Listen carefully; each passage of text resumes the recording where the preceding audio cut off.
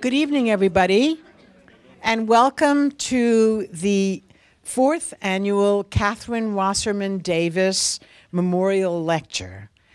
Uh, the person you see on the screen here is Kathryn Wasserman Davis, Wellesley class of 28, Wellesley's greatest benefactor and shameless Russophile, like some of us in this room.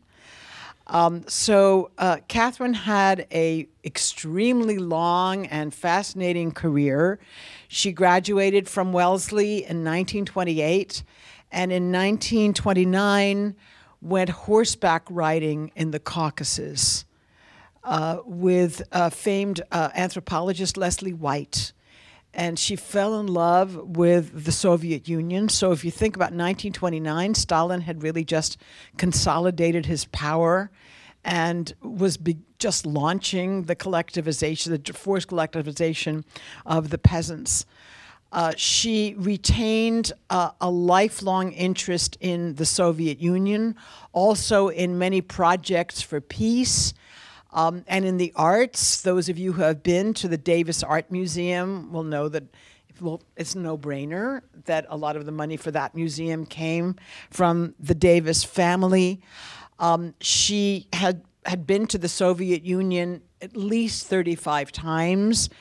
Um, many of them, although not most, uh, in the company of Professor Marshall Goldman, who taught at Wellesley for 50 years or so um, and was very, very close to Kathryn. In fact, he was the one who persuaded her to stop giving only to Wellesley and to give money to Harvard um, and to the Harvard Russian Research Center, which became the Davis Center for Russian um, and Eurasian Studies. She was an absolutely wonderful woman. Um, who had uh, many contacts. If we could take a look at the next slide, um, here she is with Margaret Thatcher. Um, and her husband, who was Nixon's ambassador to uh, Switzerland, although this is much later, it's obviously much later than the Nixon era. Um, she died at the age of 106 in 2013, uh, and one of her legacies was that after her death, there should be a Davis Memorial lecturer every year um, rotating between uh, Wellesley College, her alma mater, which she loved so much, Harvard University's Davis Center for Russian and Eurasian Studies, and Wheaton College in Norton, Massachusetts, where her daughter Diana Spencer, yes, the same name as Prince Charles's late wife, uh, Diana Spencer, went. And so um, we are all gathered here, including we have Jeannie Wilson in the audience, who's the Davis professor at Wheaton College, and we have uh, two, the two great Slavic librarians from Harvard representing um, the Davis Center and Harvard, and then a whole bunch of us Ruskies from Wellesley. Um, so that's my introduction of uh, Kathryn Davis, and we can take her away because now I'm going to introduce a woman who I also hope will live to be 106 um, and have a long and wonderfully um, prosperous and exciting life. So our speaker this evening is Maria, so we can take that image off completely, is um, Maria uh, Lipman, who's known to um, her friends and um, colleagues as Masha Lipman. Um, she's the editor of a journal called Counterpoint. It's an online, online uh, journal published by the Institute of European, Russian, and Eurasian Studies at George Washington University in DC. She's a Russian political analyst and commentator. She was the editor in chief of Pro et Contra, a policy journal published by the Carnegie Mount, uh, Moscow Center for many, many years, from 2003 to 2014. And before joining Carnegie Moscow Center, Lipman was co founder and deputy editor of two Russian weekly magazines.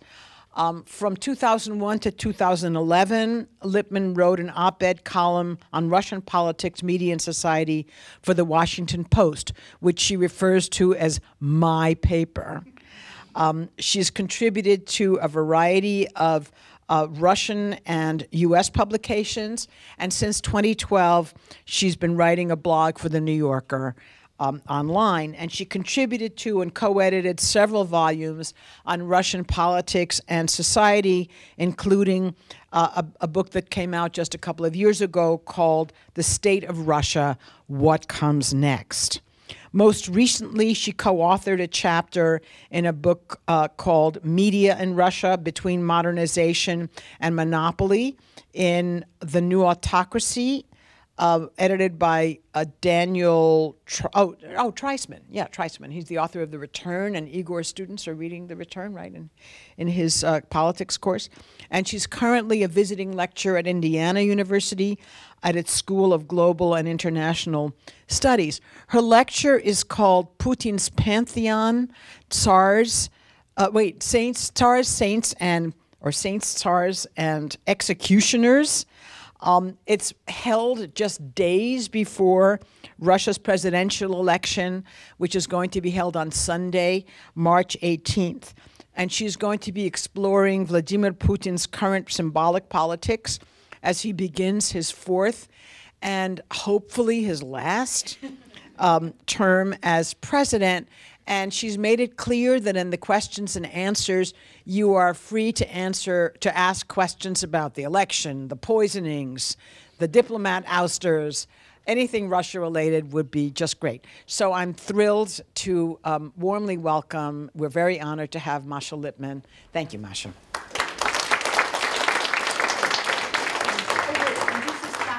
This is Kathryn Davis's book on, it's called The Soviets in Geneva on the Soviet Union and the League of Nations, if you can believe it. Right. Um, thank you, Nina, very much for this very generous introduction. Um, I'm really honored to be here, and especially uh, I didn't know so much about uh, Kathryn Davis, and I'm even more flattered now that I do. Um, uh, you are indeed quite welcome to ask questions about today. Uh, and I have to uh, say in advance that I do not know who poisoned uh, uh, the Russian spy. And uh, I mean, you, you, are free to ask this question. I'm not sure I will be able to answer it. Um, so, as Nina said, I will be talking about. Um, Putin's symbolic politics, and more specifically about monuments in Russia these days. Um, monuments, uh, um, I, will, I will look at monuments as an element of um, uh, symbolic politics. And monuments um, in Russia are important at least for two reasons today. First, because um, we are building a new nation after the rupture, of course, of 1991. We're no longer the Soviet Union. Then what are we? This is an important question. Uh, and if uh, um, we are a new country, if we're not the Soviet Union, then the question is uh, what are our heroes? What are our symbols? What Russia stands for? One more reason why monuments are important is because they were so important in the Soviet Union. Uh, uh, a very, very important element of symbolic politics in the Soviet Union. Um, and of course, the most important of those was Nina's hero, Lenin. Um, and uh, um, uh, one more reason that is not related to Russia uh, specifically, uh, one more reason why I think monuments are relevant today is because in this country, monuments uh, were, probably still are, a controversial issue. I mean, of course, co the Confederate statues that were removed, and uh, the removal, at least on one occasion, led to uh, very unpleasant consequences. And there is one more country that is engaged in remo removing monuments today quite energetically, and that is Ukraine. Ukraine has been removing uh, its Lenins and other communist statues since uh, the beginning of the independence, but much more energetically lately. And as these two countries engage in removing their statues that are deemed symbolically inappropriate, Russia, uh, in fact, has something of a monument fever. Uh, erecting more and more monuments recently, and this is what I'm going to talk about, and I will get to it a little later. So um, I will first talk a little bit about uh, monuments uh, and the policy of monuments in the Soviet Union, and then turn to uh, commemorative practices having to do with monuments in the early um, post-Soviet Russia, and then get to uh, Putin's pantheon. uh, pantheon as it is reflected in the new monuments and as it exists in people's minds uh, and reflected in public opinion polls, whom Russians of today consider their most important uh, um, heroes. And as uh, I will try to show, this is not necessarily the same thing. So, as historical monuments go, over the past 100 years, Russia has lived through three spells of iconoclasm and two episodes of uh, monument fever. Um, the term monumental propaganda is familiar to anyone who's ever studied or was interested in um, early Russian, early Soviet history um, as the um, Ancien regime was overthrown and the Bolsheviks were building their new world um, and creating a new man, Lenin launched a plan of monumental propaganda. Um, so he issued a decree in the spring of, 19, of uh, 1918, which was called on the removal of monuments erected in honor of the czars and their servants, and the drafting of projects for monuments dedicated to the Russian Socialist Revolution. A list of appropriate figures uh, um, was made of two women and 62 men, uh, mostly um, European revolutionaries as well as uh, and revolutionary thinkers as well as Russian academics and uh, uh, mostly men of art and literature. So these historical figures were to be commemorated uh, and venerated by the new Soviet man uh, as part of his conversion to the one and only true creed. Um, in the impatient spirit of uh, 1918, Lenin ordered that inappropriate monuments be removed in a matter of two months. Uh, so that was the first spell of iconoclasm and the first uh, monument fever. Uh, because new, new, new um, uh, monuments had to be erected. The deadline, two months, was not met, but quite a few of ideologically inappropriate monuments were indeed removed. Um, and uh, here's, um, mm, it's actually a rare photograph of um, uh, Alexander III statue being torn down in Moscow in summer of 1918. Um, the new monuments on Lenin's list were built in, uh, indeed uh, quite hastily and uh, um, because of uh, how the time was at the time made of shoddy material and very few of them survived. After Lenin's death, and indeed I encroach here on uh, uh, Nina's realm, um, mm, of course, uh, he became the main tool of monumental propaganda. And the first statues, the first Lenin statues, began to emerge literally overnight as soon as the news of his death reached the nation. Um, they were of all kinds of designs and materials uh, and shapes, uh, and they were truly, uh, truly an expression of a popular cult. But, but uh, by 1930s, um, the uh, um, images, the appropriate images of Lenin were canonized and monopolized by the state. So in Lenin, of course, uh, and this is, I think, uh, uh, the title of Nina's book, um, uh, was endowed with the title of Forever Alive, a universally worshipped national uh, um, founding fathers, founding father. Uh, so the communist pantheon thereby got its first primary, most important national hero, who was ubiquitous, universally recognized uh, recognizable. Um, uh, his statues, of course, uh, uh, adorned all the main squares of every city, and streets were named after him, and uh, his portraits were in every classroom and every um, auditorium. So, just to give you an idea, I'm sure all of you um, uh, can recognize the image. So, otherwise, the early Soviet pantheon did not change much uh, since Lenin signed his decree on monumental propaganda uh, and especially the pantheon of cultural figures remained unchanged for quite a number of years. Lenin's comrades in arms uh, were barely commemorated, uh, maybe because uh, before too long it was no longer clear who was a hero and who was the enemy of the people. Monuments of Stalin began to appear in early 1930s, uh, at first as a Lenin associate. So uh, here is one of the canons, uh, one of the earlier canons.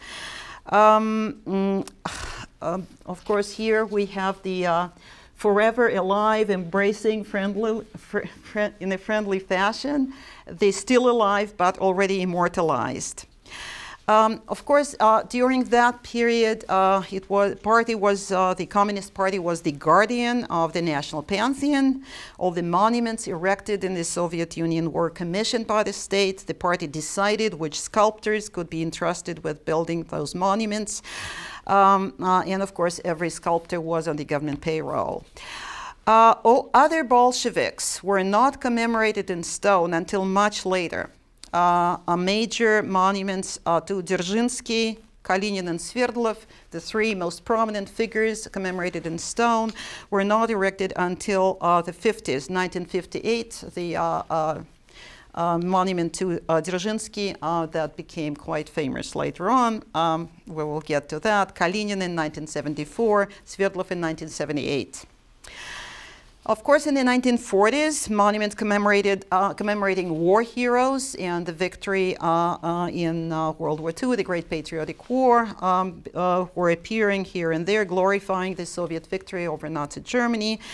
Uh, and this is, of course, the theme of Nina's other book, uh, so the scope of that commemoration grew much larger, much broader under Brezhnev after the 20th anniversary of uh, the victory in 1965 and reached gigantic proportion under Putin's rule. In 1956, uh, three years after Stalin's death, Khrushchev famously condemned Stalin's uh, uh, personality cult and mass repressions uh, in his secret speech at the 20th Party Congress. But Stalin statues still remained mostly in place. Um, so here is from um, recollections, uh, memoirs from a um, mm, uh, ambassador of Yugoslavia in Moscow in 1956, who arrived in Moscow right after Khrushchev's uh, secret speech. He wrote at that time that gigantic Stalin portraits were everywhere as if the secret speech did not happen. He also added that a Stalin portrait uh, was hanging on the wall of Khrushchev's outer office. Uh, so, uh, and it took a while, even though some people, some individuals were encouraged to remove Stalin statues um, after Khrushchev's secret speech, it was not a policy. It was not yet a uh, nationally approved iconoclasm. Uh, it, uh, it was sporadic here and there, and it was not until 1961 um, when um, at another party congress, uh, the 22nd Party Congress, uh, Khrushchev denounced uh, Stalin once again, and uh, uh, Stalin was secretly uh, removed from the mausoleum and reburied behind it near the Kremlin wall in a pit covered with several truckloads of cement. Now, uh, uh, these days, uh, uh Stalin's uh, uh, Stalin grave is still there, and you can see it today, as well as um, as others. And you can see this bust here, which did not appear until 10 years later. this bust dates back to 1970. Uh, this uh, uh, photo uh, is very recent, uh, and we see here the leader of the Russian communists of today, Gennady Zyuganov, laying flowers uh, to Stalin's bust, which he does every year, maybe not even once. but um, at the time when um, Stalin was reburied, there was no there was no bust, and there was no bust, as I said, for um, 10 years. That same year, Stalingrad was renamed Volgograd, um, and um, that was a real iconoclasm of gigantic proportions, larger than the first one, larger than the third. Uh, I will get to the third later. And arguably the most radical iconoclasm of this sort in the history of mankind, just given how many Stalin statues there had been, how many names, how many uh, um, street squares, etc., were named after, um, after Stalin. Um, so, uh, we now got to uh, are getting uh, uh, slowly to the end of the Soviet Union. Uh, but uh, before um, the Soviet Union was over, there was a period of stagnation.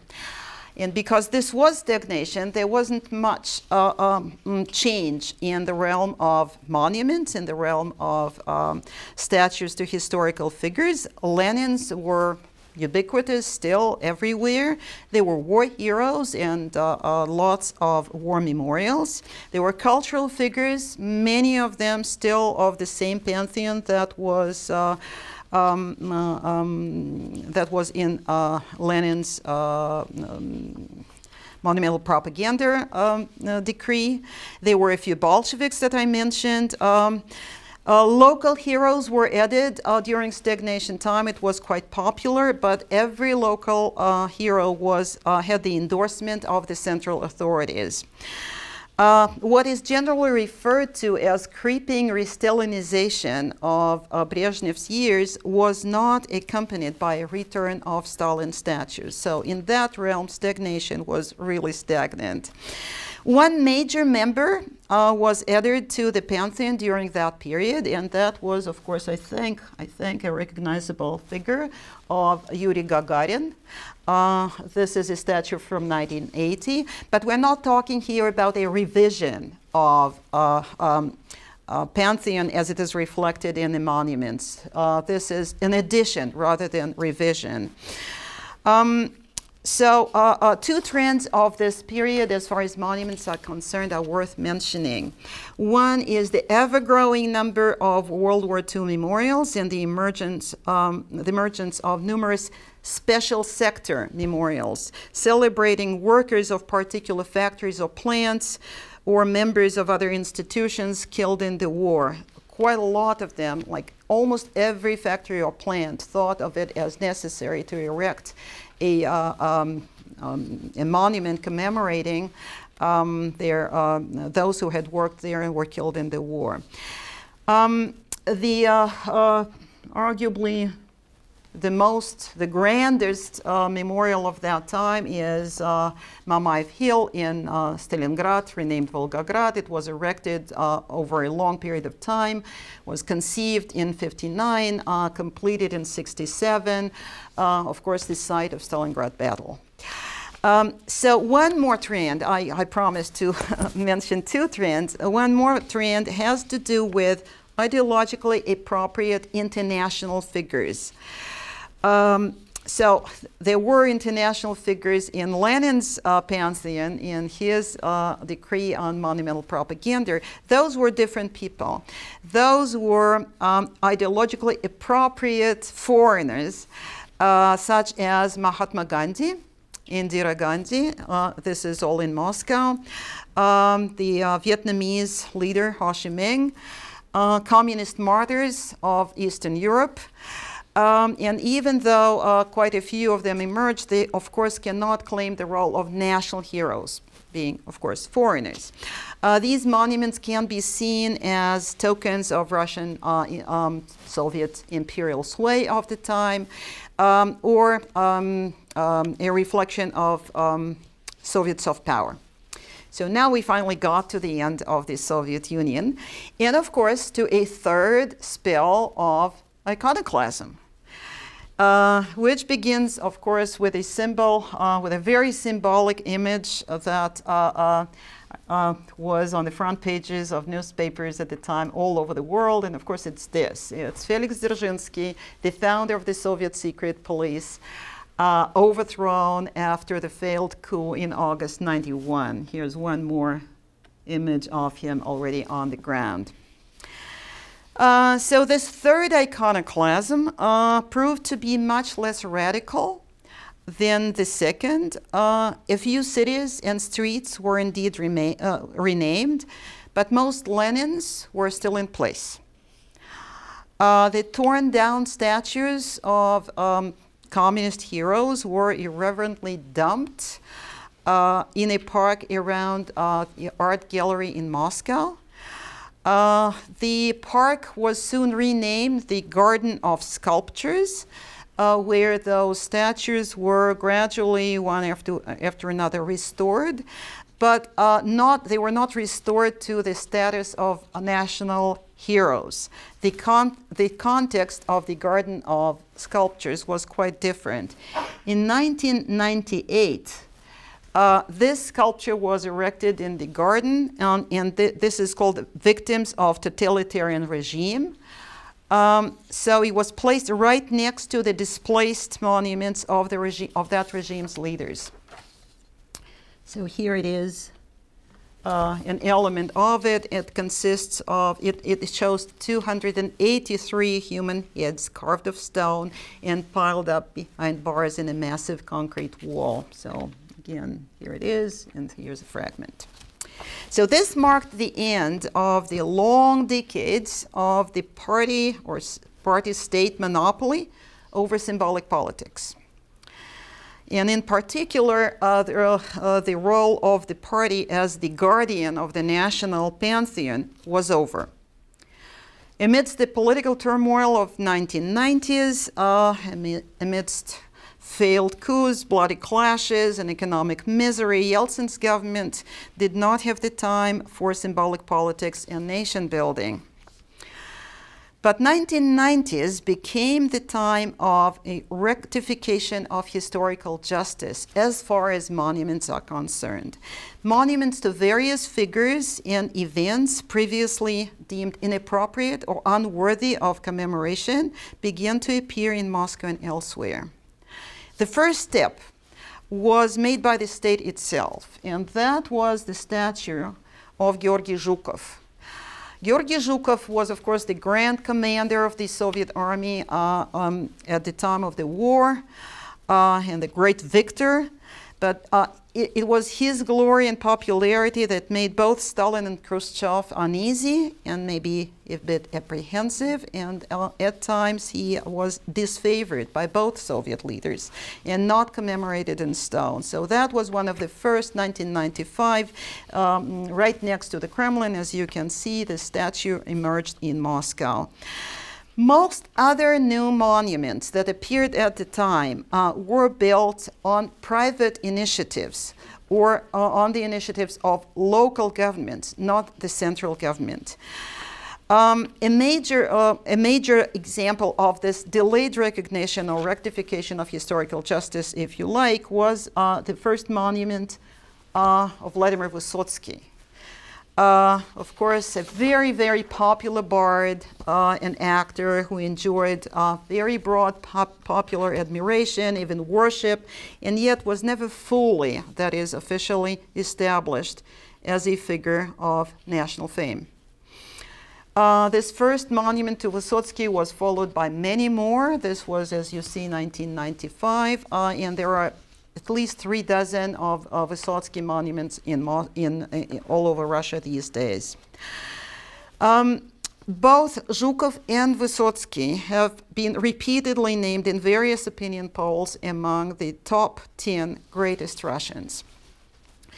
Throughout the 90s, uh, regions and cities were rediscovering or reinventing their local histories and building their own new identities uh, and erecting monuments. Most of those commemorated ancient princes or saints. Nearly every historical Russian city, uh, Ryazan, Tver, Vladimir, Yaroslavl, what have you, uh, uh, uh were erecting and have today uh, the statues, monuments of um, one or another ancient prince or, or prince um, who was then canonized as a saint. Monuments of saints of national scope were, were also uh, emerging here and there in the time, and the most prominent among them is that of Cyril and Methodius. Around the same time, Moscow mayor commissioned a gigantic statue of Peter the Great, uh, so, uh, unlike uh, the local saints and princes, this czar could actually claim uh, a symbolic value of um, um, embodying a new Russia, a ruler that was progressive, reformist, modernizing, Western oriented. Uh, so it looked like an appropriate symbol, uh, um, and also um, it was e easily the most famous uh, Russian czar um, called Peter the Great, uh, um, uh, who was uh, uh, a character of novels and films in the Soviet period and had a very prominent place in the Soviet historical narrative. So it looked like uh, a new. Um, a new symbol for a new Russia. However, um, Peter the Great was the initiative, I mean, this statue was the initiative of the Moscow mayor. The Moscow mayor was not on very good terms with the Russian president, and the Russian president could not possibly accept a national symbol from the hands of the mayor whom he didn't like and with whom he was not on good terms. Besides, the statue became an, uh, the object of vicious criticism. It was deemed ugly, interfering with Moscow landscape, and I, I think uh, um, um, it is hard not to share this opinion of this statue. Uh, so another example, another attempt uh, um, to come up with an appropriate symbol for a new Russia was initiated by um, Russian Liberal Party, the Union of Right-Wing Forces. It was Alexander II. For the very obvious reason, the Tsar, um, who liberated, uh, who put an end to Russian serfdom. So again, as Tsar liberator, as a proponent of freedom of sorts, uh, this Tsar looked like an appropriate symbol.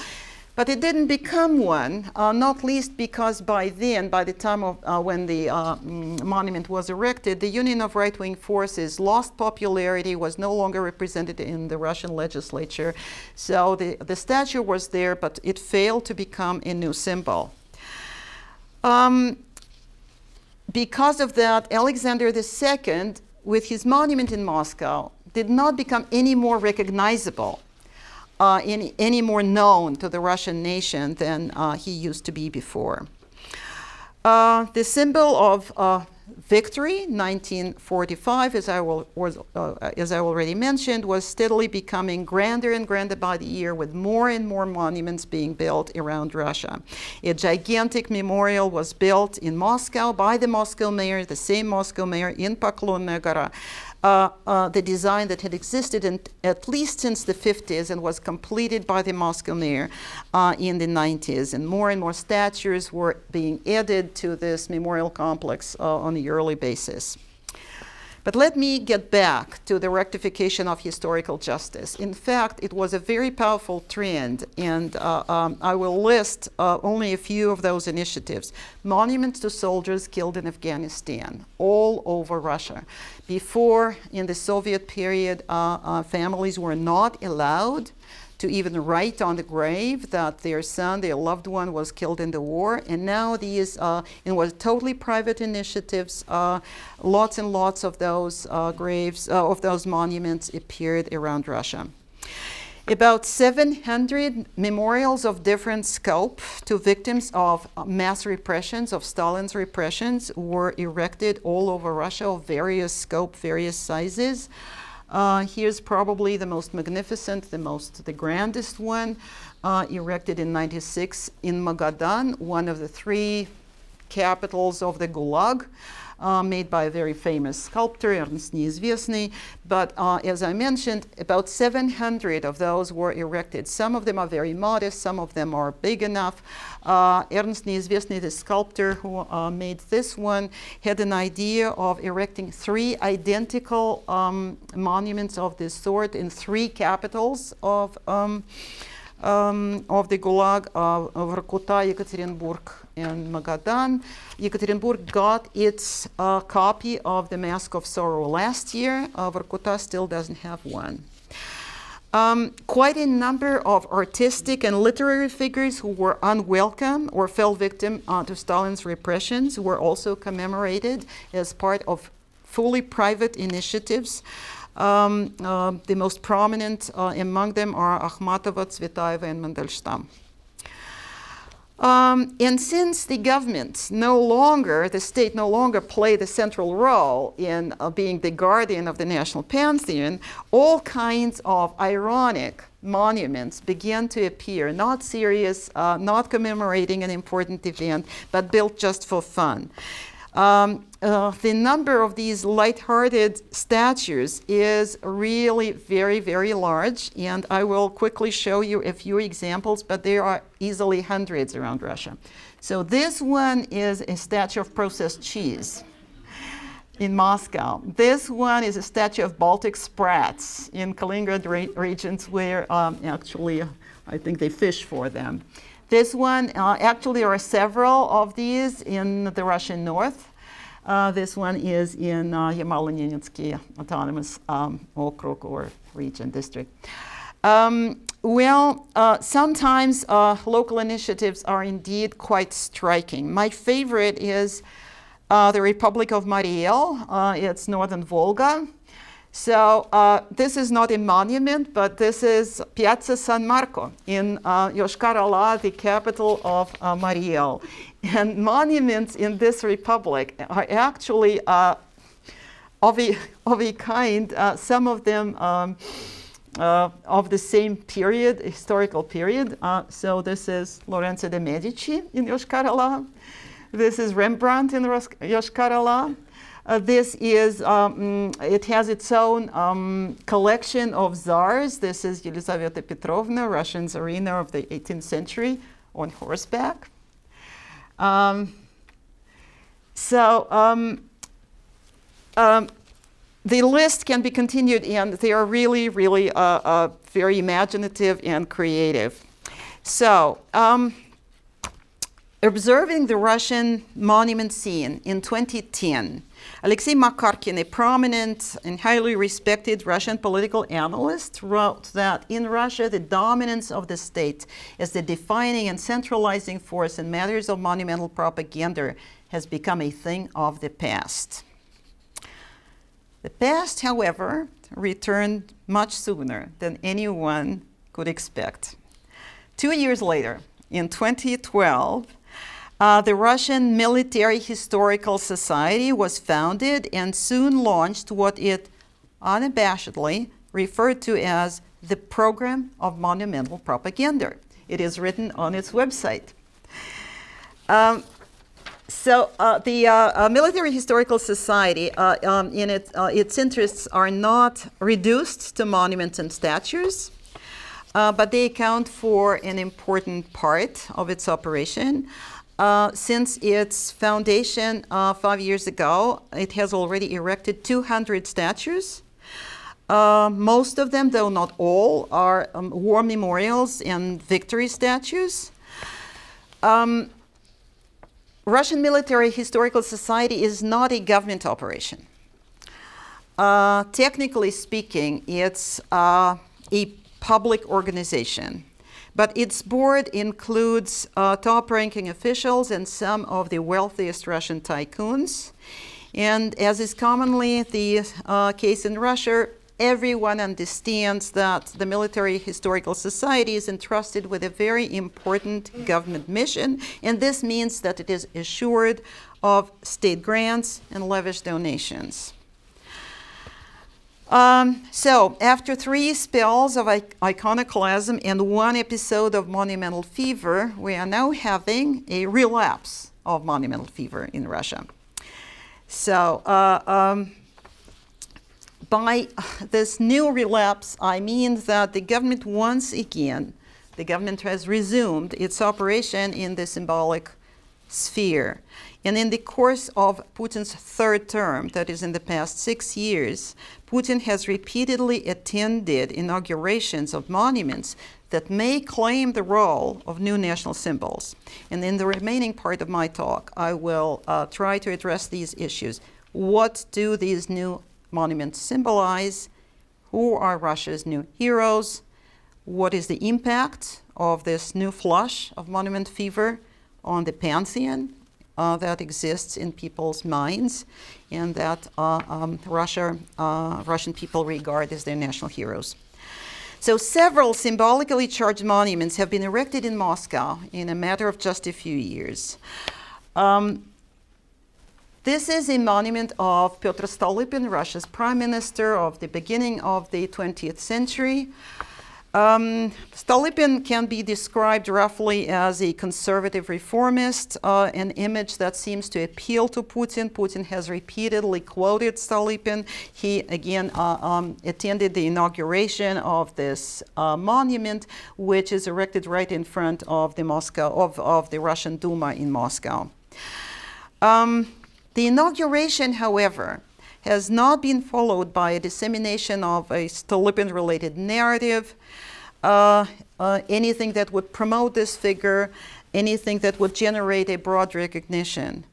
Besides, uh, since 2012, the, uh, uh, when the monument was erected, the reformist language and talking about reforms uh, has gone out of fashion in Russia, and uh, making this uh, symbol, which could be a good symbol for Russia, probably, um, but still has not um, rooted in any way in, in Russia, has not become recognizable.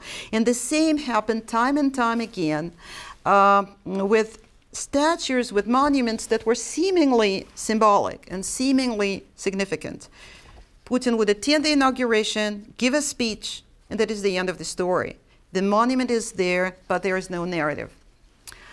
Um, so was, here's one more example. Here's Putin uh, attending the inauguration of uh, the monument to Emperor Alexander I. Also, at some point, um, an appropriate symbol, maybe.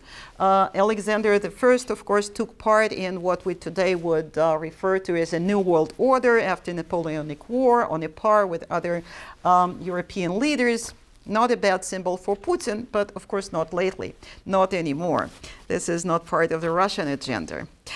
Uh, and again, the statue is there, the monument is there, but uh, there is no narrative attached to it, and it uh, uh, um, Alexander I as an image has not become any more recognizable since then.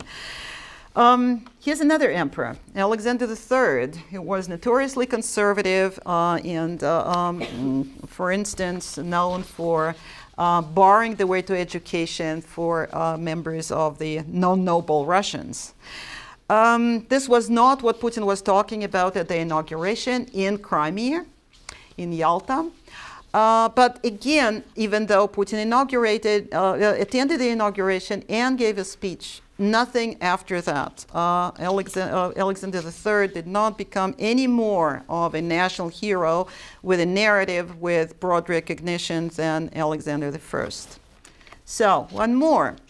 Um, this is Prince Vladimir, who christened Rus in Kiev in uh, the 10th century. Um, this one may have a, uh, a better chance of becoming a new national hero uh, as a symbol of Russia as a realm of genuine Christianity as opposed to ungodly West. Putin was talking along these lines right after the um, uh, annexation of Crimea, uh, but not, not since, not lately. This rhetoric has somehow faded away. Um, and yet, uh, and also Kremlin, the Kremlin refrains from drawing too much on the Russian Orthodox Church as the main source of ideology or symbolic politics. Seem, uh, I would say uh, the Kremlin seems to be reluctant or apprehensive of endowing the church with too much symbolic power. In fact, of course, the implications of uh, um, uh, St. Vladimir, Prince Vladimir in Moscow um, are political but not very religious. Given the current hostility between, between Russia and Ukraine, it didn't look appropriate to have uh, the cradle of Christianity in Kiev, and because it was impossible to relocate Kiev to Moscow, Prince Vladimir was relocated uh, uh, to Moscow, uh, and thereby appropriated, so to say, by, by Moscow, by Russia, and well, in this way, it's kind of, uh, of course, uh, um, uh, Christianization of Rus was before Moscow even existed. Of course, Prince Vladimir never set foot here, but uh, because we have him here, it's, well, somehow Moscow is the cradle of Russian Christianity these days. So, a very recent one is Mikhail Kalashnikov, the designer of the uh, deadly weapon. Um, not a very good symbol. Um, Putin did not attend the inauguration, but it's still there. It's uh, downtown Moscow. It was uh, it was erected uh, fairly recently. Um, mm, uh, of course, no narrative. Again, he does not become a symbol. Uh, maybe fortunately so. Uh, the um, monument fever. Um, that is associated with government operation in the symbolic sphere inspired other actors with, uh, who have uh, also have their own ambition as symbolic entrepreneurs. Um, and uh, uh, sometimes, some places uh, now have statues um, and monuments that the Kremlin did not initiate and probably wouldn't, but the Kremlin doesn't get in the way. So 2016, Ivan the Terrible was uh, uh, commemorated in stone in Oryol, much to the dismay of some of the people in that city. There were pro public protests. This was not the Kremlin initiative, but the Kremlin did not get in the way. Of course, Stalin's busts, of which we now have a few dozen all over Russia, uh, and especially recently, uh, 14 or 15 of them emerged in, uh, the, uh, uh, in Putin's third term alone. Uh, there is a noticeable shift of um, the emergence of Stalin's busts in central Russia. Before, they were mostly emerging in, um, in, in the Caucasus. So here's an example. This one has been vandalized. So this is a controversial, uh, um, um, controversial bust. Uh, they all, all of them are privately initiated. Uh, um, they are not big time, not prominently located, not in main squares, but there are more and more of them. Again, not a Kremlin initiative, but the Kremlin does not get in the way. So just as uh, Stalin's memorials uh, appear here and there, Putin himself, uh, at the end of last year, uh, attended the commemoration of a memorial, now the first ever national memorial in Moscow, commemorating the victims of political repressions. Um, called the Wall of Sorrow, um, also uh, located in downtown Moscow. In fact, uh, in uh, last year alone, two more memorials to Stalin's victims appeared in, uh, um, in Russia, one, as I mentioned already, in Yekaterinburg, and another also in Moscow, in Butovo, the site of um, mass executions of 37 and 38. Uh, actually, a very magnificent memorial a little bit like the uh, Vietnam Memorial in DC, in which all the names of all 20,000 people who were executed carved in the stone. Um, uh, quite an impressive monument. So we have the executioners, uh, such as Stalin and Dzerzhinsky, whose bust appeared last year in the city of Kirov in uh, more or less northern Russia um, and uh, uh, uh, commemorating the victims, mourning the victims, and even mm, the church has canonized what the, the church, the Russian Orthodox Church, refers to as new martyrs the clergy um, executed uh, during uh, Stalin's mass repressions. Uh, there is a church right close to the mass to the site of mass executions in Butovo called the Church of the New Martyrs. Um, so uh, um, there is nothing extraordinary or unusual about uh, in, in um, compatibility of symbols of uh, symbols such as monuments.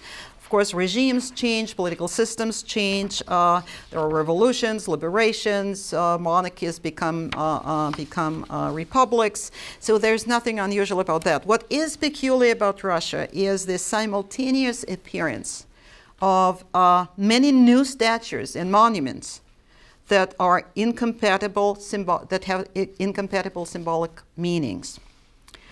Putin is fully aware of the existing ideological differences regarding the perception of the past. And ever since 2000, since his uh, millennium manifesto, his main programmatic article that he published, um, before he uh, became acting president in Russia, he spoke uh, about the divisions existing in the society regarding the perception of the past and emphasized the need for national reconciliation. Yet he does, doesn't seem to, uh, uh, uh, to try to reconcile by inculcating a shared perception of the past. Instead, um, he is willing, he is willing, he's ready to uh, tolerate the differences as long as uh, those different constituencies with their different views of the past uh, pledge allegiance to Kremlin and Putin himself and are kept under control. This all-embracing and or even omnivorous approach implies that one can be a monarchist or a Stalinist or a religious fundamentalist uh, or a uh, lover of Brezhnev or Lenin uh, and each one is free to venerate his and her uh, si uh, respective symbol. as long as one pledges allegiance to the regime. This is hardly a reconciliation for the sake of unity, rather, a pacification for the sake of stability. And um, as the, uh, the, Kremlin refrains from imposing this one and only true perception of the past, it is building a symbol of defenses against unwelcome ideological competition, which is coming from the West or Western agents within, agents in quotation marks, of course. Both are seen as undermining uh, the Russian state or its political regime. This all embracing or omnivorous approach to the past is best illustrated by a new monumental project in downtown Moscow called an Alley of Rulers. And uh, uh, you cannot see them well, but uh, uh these are images, sculptured images of all Russian rulers from ancient saints through czars and emperors to um, the leaders of the Soviet Union and down to the unloved Gorbachev and Yeltsin.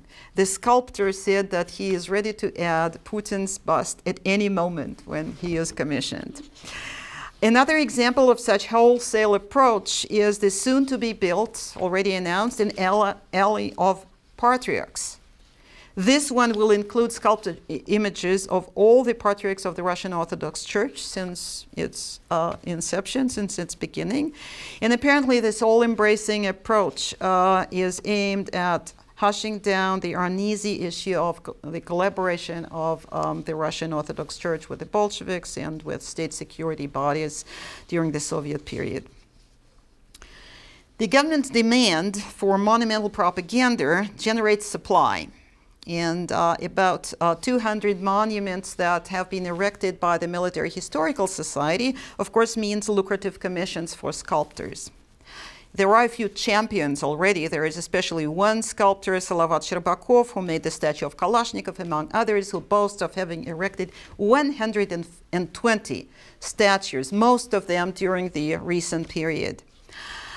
Um, so the, the, the, new monumental fever opens opportunity for sculptors. But what about its impact on the Russian national pantheon as it exists in people's minds? Whom do Russian people today regard as their national heroes? Um, the website of um, uh, the Russian Military Historical Society opens, uh, yeah, this is uh, a close up on some of those rulers. So on the, um, the first page um, online, um, on the website of the Russian Military Historical Society, there's a quote from Putin. Our country needs heroes and everyone should know who they are. They should serve as role models for the young people growing up today and for their children. This is very important. Uh, this is uh, uh, the end of Putin's quote. And although Putin says that this is very important, the new Russian pantheon uh, as it exists in uh, people's minds and as it is reflected uh, in public opinion polls um, mm, also reflects the Kremlin's uncertainty and this lack of narrative and this lack of a common practice of inculcating the images of those new, new, new heroes. Um, monuments of Lenin, um, mostly ignored in the government rhetoric, uh, and on several occasions criticized by Putin, Lenin himself, not the monuments, of course, still remains uh, by far the most numerous ones in Russia. Uh, and uh, uh, uh, Lenin also is among the top, most famous, most prominent, most significant Russians um, in the public opinion polls. The next one is Pushkin. Of course, uh, monuments are also ubiquitous, not as numerous as Lenin's, but still quite, quite, quite a few. Um, and what about the new ones? The new ones that um, um, whose inauguration Putin attended. Uh, the commemoration in stone of the czars, saints, and princes um, inaugurated as part of this new um, monument fever. The Alexanders, Stolypin, Prince Vladimir, Nicholas II. There is a statue uh, in Crimea. Uh, Nicholas II, of course, is also canonized by the Russian Orthodox Church as a martyr. Failed to make them members of the Russian pantheon, again, as reflected in public opinion polls. Uh, in fact, judging by the public opinion polls, the national pantheon has not changed much since the Soviet days. Um, of the top 10 most significant Russians, most belong in the same pantheon that we had in the Soviet Union. So here is uh, um, um, here are the results of three different opinion polls from 2003, 2008, uh, 2017. And as you see, uh, the characters are pretty much the same.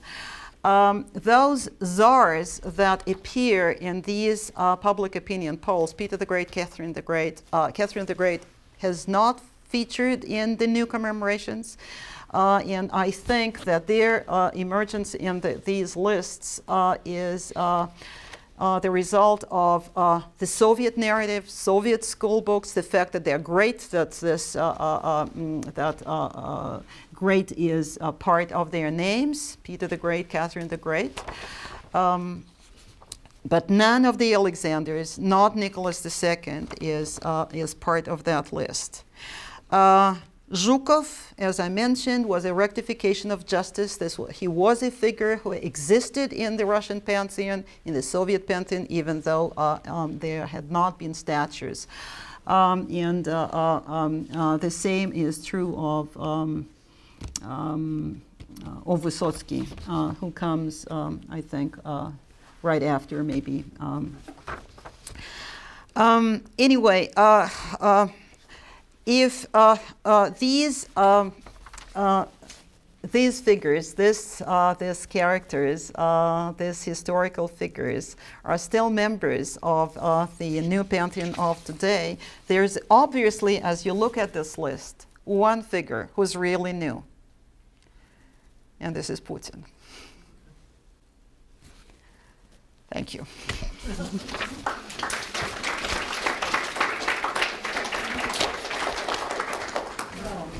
Thank you. So, monuments to Putin coming up. Um, we uh, have opening the floor to questions. to questions about uh, anything related to Dmitry. Uh, any statues to Putin previously constructed? Uh, no, not really. Uh, there are all kinds of images uh, in online. Uh, you have all kinds of videos, uh, animations. Uh, you have, of course, tons of portraits. Is there an informal rule that you must be dead before you can have a statue? Uh, well, the informal rule has it that, uh, in fact, there are commissions, uh, usually urban commissions in uh, municipalities, and one has to be dead for a while before a monument is, uh, is erected. Uh, there are actually sometimes there are exceptions to the rule, but of course, yeah, one has to, one has to be dead. Well, this is not always. Uh, uh, this is, uh, as I said, a rule with exceptions. Um, I wanted to ask you about this uh, project by our mutual friend Sergei Parkhomenko, uh, The Last Address. Mm -hmm. um, and I wanted to tell people about the project, but uh, what, what's the reaction of the government, both on a national level and on the local levels, mm -hmm. to mm-hmm. that? Yeah, of course I will. Yeah. Uh, Last Address is a uh, private initiative initiated by a prominent civic activist, Sergei Parkhomenko, whom uh, Dmitry mentioned. Um, it is similar to um, a German project of stepping stones. Uh, I'm sure many of you know about it or have seen it.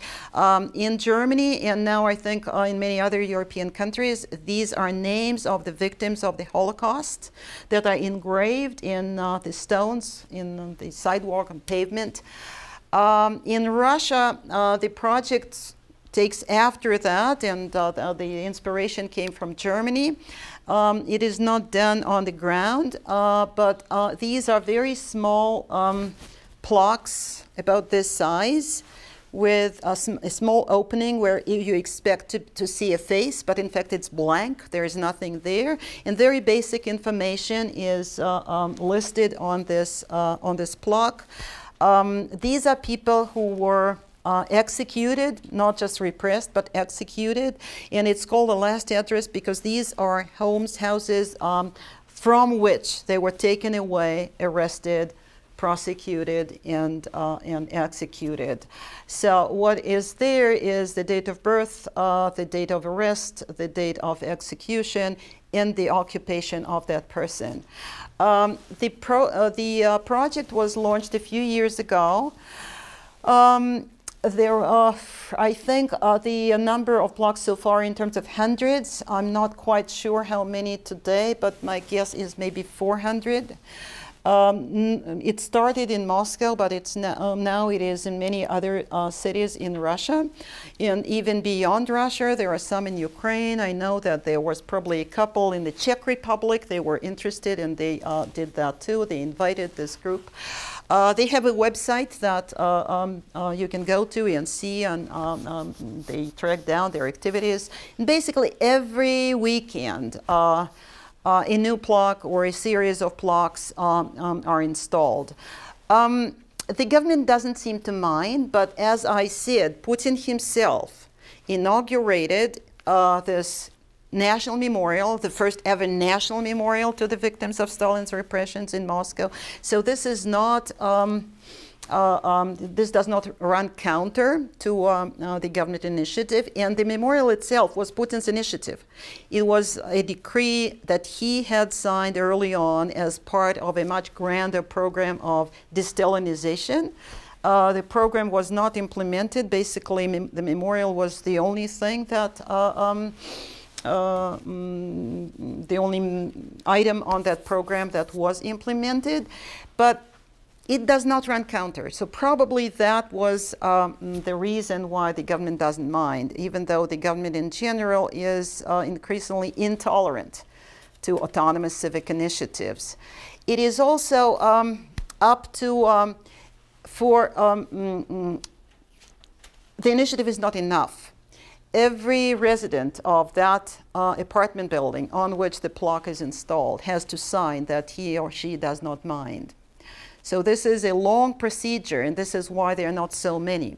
So uh, if there is a single person who says, no, I don't want this block on my building, on our building where my apartment is, it will not be installed. Yes, you. Um, This question is suggested by one of the lines that, that you, that you introduced, the, um, the joke. Uh, it's not at all the same, but it's suggested by, and this is purposefully distorted, sort of surreal kinds of imagery in some of the statues. For instance, in St. Petersburg, Shemyakin is really incredible statue of Peter the Great in Petropavlovka, uh, Sphinx.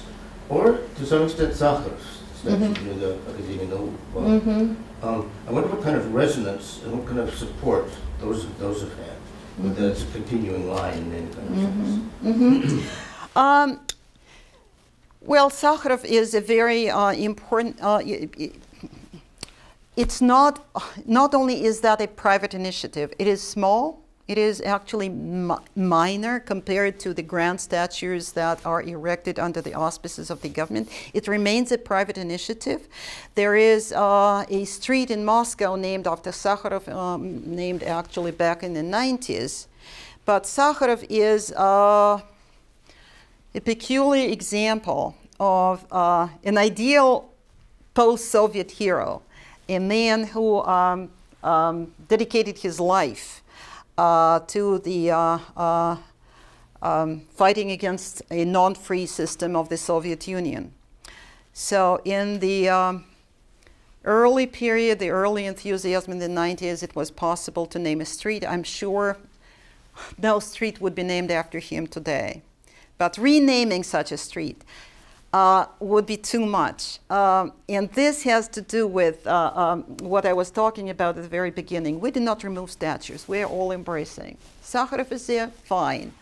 Uh, Sakharov and Stalin, fine too. Uh, Sakharov and uh, uh, now in the alley of rulers has all of them, you know, Lenin, Stalin, Brezhnev, and even the uh, very brief ones who were dying basically on a yearly basis. The the um, Chernenko and Andropov, who were actually presided over the system that persecuted Sakharov. it's all embracing. We can have a Sakharov Avenue in Moscow, that's not a problem. We can have a modest uh, ma- monument of Sakharov in St. Petersburg. This does not make him a national hero. Uh, but what makes one a national hero? It turns out what seems uh, of interest to me is even the uh, inauguration uh, in uh, uh, Putin's speech at the inauguration doesn't make Alexander III or the First or Stolypin or whoever a hero recognized by the nation either. As for Shemyakin's, um, well, again, uh, is much more of a piece of art than uh, an, an element of symbolic politics. Um, the uh, element of symbolic politics that Peter the Great could have become after the ugly Moscow monument did not happen, as I said. First, because it was so ugly and people made fun of it, and second of all, because uh, uh, Yeltsin, at the time, Yeltsin's government would not recognize him as a national hero because it was the initiative of Luzhkov. So each time there can be a reason uh, but uh, the fact of the matter, and what is important to me, and what is actually, I think, a broader issue, is that um, um, to the extent that Putin's regime today is more ideological than it used to be, it does not extend to inculcating a shared vision of the past. Uh, I, would like to disagree with, with part of it because I'm very interested in the, uh, the politics of the history of the 1990s Mm-hmm. um, and the collapse of the Soviet Union. How is that being depicted? Mm-hmm. So there was this Yeltsin Center that was built in um, uh, just recently in Yekaterinburg with a bust or a statue, I don't remember, of Yeltsin. Mm-hmm. Um, and then I and my students in my Putin first year seminar um, just read Putin's presidential address of March 1st, so just basically the week before last, um, in which he keeps referring back to the 90s, or at least saying, in the year 2000, all these terrible things were, and then we've improved so much, we've improved so much, and you sort of get this feeling of how free, how long can he continue going back to the 1990s when that was already almost 20 years ago? You know, so I think there is a set vision of the 1990s as a terrible time, which it was in many ways, but it was also the time of the birth of democracy and the end of communism and the closing of the last Gulag camp, you know, and all these things. So I think um, that uh, I think the Kremlin is is really invested in a particular vision of the 1990s that everybody should have. What do you think? Um, yes and no. Uh, I mean, yeah, of course, yes. Of course, yes. In the wild 90s has become a cliche that uh, um, has been in use in political rhetoric and very broad public rhetoric uh, basically since the beginning of Putin's tenure. And yet we do have Yeltsin Center in Yekaterinburg, right? right? So it is, Nobody in a sense, it, right? a uh, mm, presidential center as they go. And I'm sure it was inspired by the presidential centers in this country. Right. Like outgoing president is entitled to a, a, museum, a center, a library, and this is what Yeltsin Center is. It is a museum, a center, a library. Uh, but this does not mean that we as a nation regard Yeltsin as a national hero or a prominent figure. Uh, we do have him in this alley of rulers that I showed to you. But again, this does not mean that you know the nation suddenly is uh, wakes up to a sense that after all, uh, his contribution to Russia, his service to his nation, uh, was something something good, something that we should uh, respect, uh, if not revere. Uh, can one be a, a worshiper of Yeltsin or a fan of Yeltsin? Of course, no problem. No problem, as long as one is uh, uh, pledges allegiance to the regime and to Putin. Uh, so you can be uh, a fan of Yeltsin, you can be a fan of Stalin, you can be a fan of Nicholas II, and we even have a female worshiper of uh, Nicholas II um, a former chief prosecutor of Crimea, not, not just somebody uh, un, un, unimportant. Um, you can be anything. Um, what is not uh, encouraged and what is strongly discouraged is um, uh, dissemination of uh, liberal westernizing values. That's for sure. But uh, yes, there is this perception. Uh, there is this perception of the 90s. Uh, but um, Putin personally never said a nasty thing about Yeltsin. He has this special decency about himself. I would say. He, uh, um, he uh, um, is certainly quite loyal to the memory of his mentor, former mayor of uh, St. Petersburg, Anatoly Sobchak, and by the same token, he has respect for um, the person who anointed him for presidency. Never said a nasty thing about him. Um, all of this coexists. So I don't think there's a contradiction, uh, uh, I mean, with what I said, but there is certainly a contradiction between having a Yeltsin memorial in Yekaterinburg uh, and mm, this pervasive, very broad perception of the 90s as the time of chaos and uh, referring to the 90s as wild. Yeah, but then I also have a question. If you can be anything then why erect all these monuments and conduct this monumental propaganda if you don't impose a certain national identity? This is an excellent question. Uh, really, thank you so much. Um, um, this is certainly not a, um, uh, driven by a desire to um, um, create a sense of uh, of anything like the Soviet Union was. In the Soviet Union, everything was so clear. We had a founding father, he was forever alive. We have this one and only true theory, one only uh, true creed. Uh, the history is simple. Ancien regime uh, was bad, the new, uh, the new world was good, etc. The sense that uh, Putin's regime is trying to inculcate is that um, state leaders are infallible and uh, uh, no regime, uh, whether czarist, imperial, princedoms that existed before, um, should be criticized. the state is dominant, the state should be respected, and no period should be criticized as such, and especially no leader. Uh, this is, uh, I think, uh, expressed most vividly in a uh, permanent history park, an exhibition, a history park called Russia My History that you find in Moscow. And these days, more and more cities have replicas of those. Uh, and th those history parks are, uh, in, in even more unabashed way, um, a praise of every ruler beginning from uh, uh, very old times. So it is this sense, not a particular picture, but a very broad, um, and I would say very quickly getting blurred picture of we don't go into detail we don't uh, because the minute when we try when we begin looking at details like alexander iii really issued this decree which barred the way to education for people who were not noble is it good? Of course not. And he kicked the Jews out of Moscow too, by the way. Yeah, that was not a good thing to do either. Uh, so uh, the minute we, we get to the detail, it gets very controversial and wrong. But this overall picture of infallible leadership, I think, is what's behind it. And what's behind, you know, now we have that, that leader and this ruler and this prince and that czar, and even, and even Yeltsin and uh, Gorbachev, who's, by the way, still alive uh, are commemorated in stone.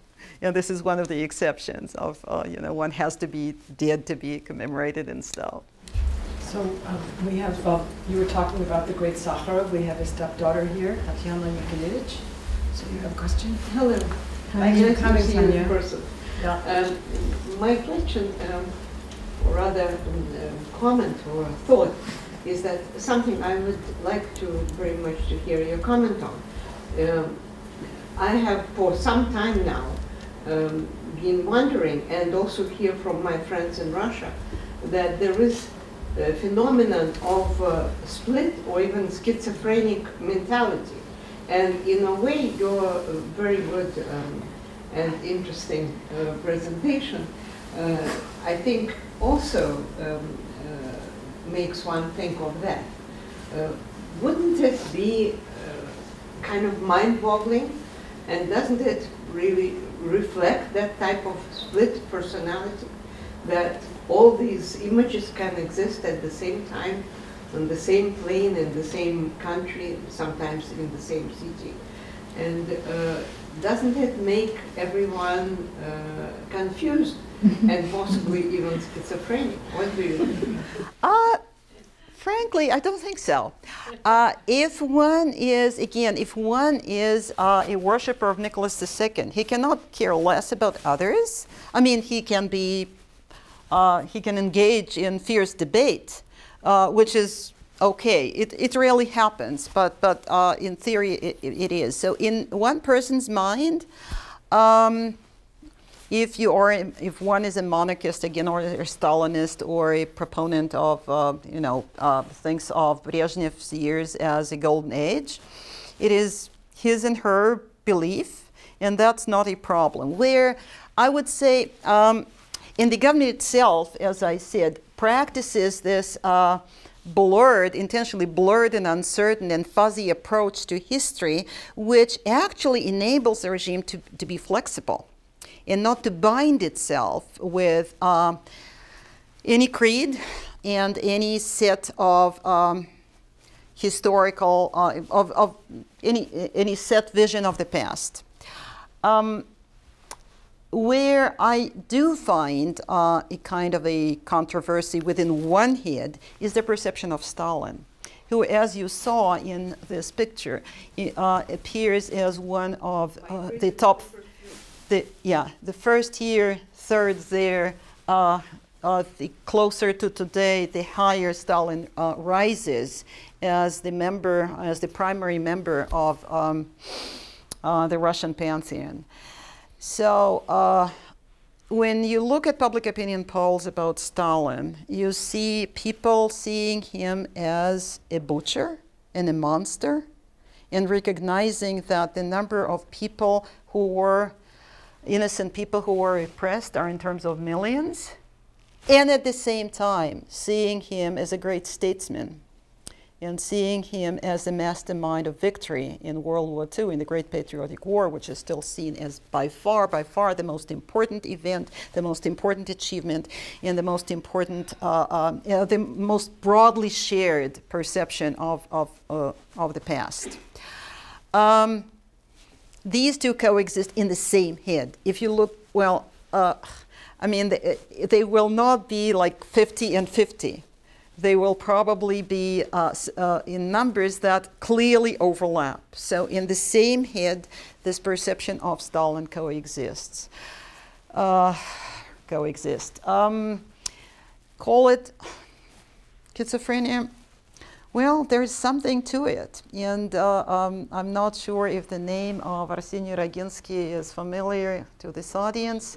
A very, very prominent civic activist who unfortunately died recently, the founder of the Memorial Society who dedicated his life to the commemoration of uh, collecting the material, work in the archives, um, mm, uh, commemoration of the victims of, um, uh, of Stalin and the Soviet regime in general he recognized the, um, um, the controversy and the impossibility, the irresolvability of this con controversy. There's nothing uh, to be done about the victory in the war uh, uh, being the most important event, and there is nothing to be done about Stalin as a butcher. So I think this is a controversy that is not in people's mind, that is a controversy in the Russian history, in the Soviet history, if you like. Other than that, I don't see this uh, split of personality, and I don't think uh, the coexistence of um, you know all these different visions of the past is actually a problem. In fact, I would like to see more diversity in politics uh, what uh, the paradox here is that we don't have any political competition. We don't have uh, uh um, political alternatives. But in history, we have this very broad range of possibilities how you can look at uh, the Russian past. So I'd rather it were the opposite, or that there were diversity in both these realms, the political and the perception of the past. So I guess we have time for a couple more questions. Um, uh, Rachel, is there a question? Um, I was wondering if you think that the current regime like has been or will be successful in convincing people to look at the, the broader picture of the past rather than just like more recent past. Um, well, I think the major concern of the regime is not to inculcate a certain vision of the past. The major concern is to keep things stable. Uh, and this is just one of the instruments, one of the tools reconciling different visions of the past so that they would not lead to political turmoil. That's the point. It's not that uh, there is an interest uh, among the decision makers in the Kremlin to inculcate a certain vision of the past and not doing this because it is too in- insurmountable uh, uh, a task. Um, it, it, the point is not that. And uh, uh, the point is to uh, uh, keep people reasonably acquiescent. If it takes to allow them to have different visions of the past, that's fine, as long as they pledge allegiance to the regime and do not, um, you know, do not get funny ideas that maybe the government that they have should not be there or some such. And this mission, this, this task, is actually implemented in symbolic politics, this peculiar uh, way that the government uh, um, goes about it, um, allowing this diversity, actually not inculcating, uh, serves this goal, serves this goal too. So Eloise Rolling? Um, thank you. It's a fabulous uh, lecture. So I'm really interested in this last slide that says the pantheon of national heroes remains essentially Soviet. Because looking at it, it looks like the pantheon of national heroes remains also essentially czarist. Um, you know, a good half of the you know the national heroes are czarists, and I guess it made me wonder, really, for the first time, why didn't the Bolsheviks do a better job of just eradicating, you know, all of that czarist? If, I mean, I guess you can make the argument, right? Of course, they did a better job. Of course, they did. Well, because uh, for them, there was no, you know, diversity was anathema, right? It was one and only creed. You knew exactly what you had to believe. It was the same school curriculum, uh, you know, from east to west, from Estonia to Tajikistan. Uh, you know, the same uh, uh, presiding, the same body that presided over the historical narrative uh, that was honed to per- perception year after year. Of course, they did a get- better job. Uh, uh, today's government does not have that and actually does not strive at that. It is uh, czarist, I think, uh, is one way to put it. It's focused on uh, the dominance of the state and the state dominated by the leader. That's the point. Gagarin is uh, one exception. Zhukov is another, which is interesting. Um, mm, uh, well, Zhukov, of course, is. Uh, um, there, were, there, there was this rivalry, in a sense, rivalry with Stalin, that, and that was why he, he could not be fully recognized, probably, because Stalin had to be mastermind of victory. Uh, but yeah, uh, uh, of course, Pushkin is our everything. Uh, but generally speaking, of course, all of them, nearly all of them, are, are, are rulers. Well, there's also Lomonosov, Tolstoy, Lermontov. Yeah. Um, well, um, right, uh, uh, that's, that's true. Uh, Lomonosov only uh, emerged in 2003, and that was not a national poll. Second, second, Oh, it has, yeah, right, you're right, you're right, yeah, yeah, yeah, yeah. Lomonosov is there. hmm Well, but, yeah, culture, culture, and this too, uh, uh, you know, this was, of course, uh, Putin and, uh, Putin, Pushkin and Lermontov and Tolstoy uh, were also part of Lenin's pantheon. But also, excuse me, but think about the um, opening ceremony of the Sochi Olympics. It was a celebration of Russian culture, and you had the literary greats and, and so on, and that was really, that was all incorporated into the grandeur and greatness that's Russia.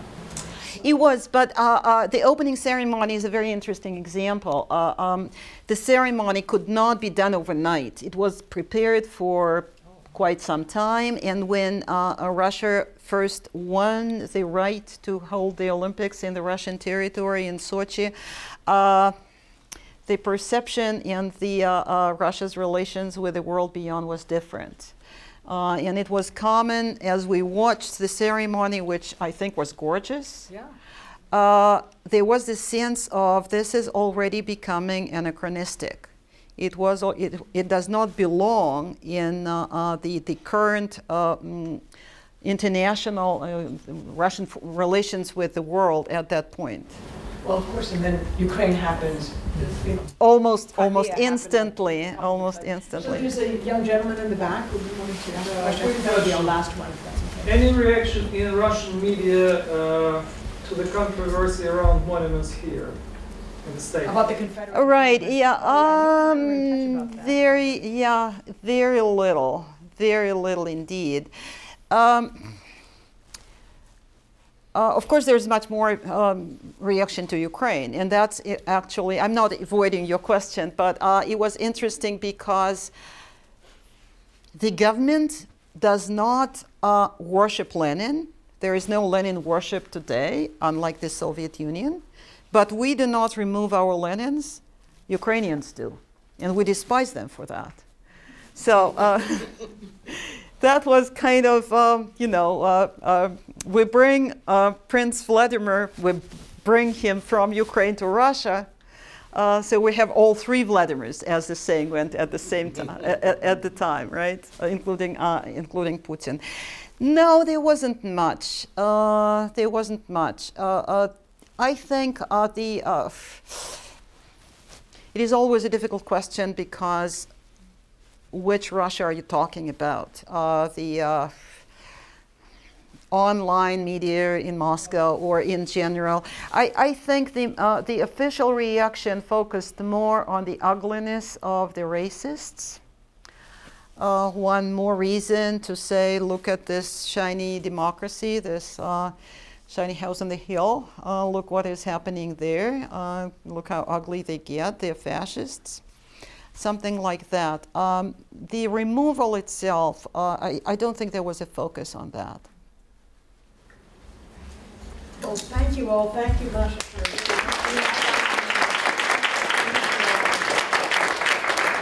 Thank you.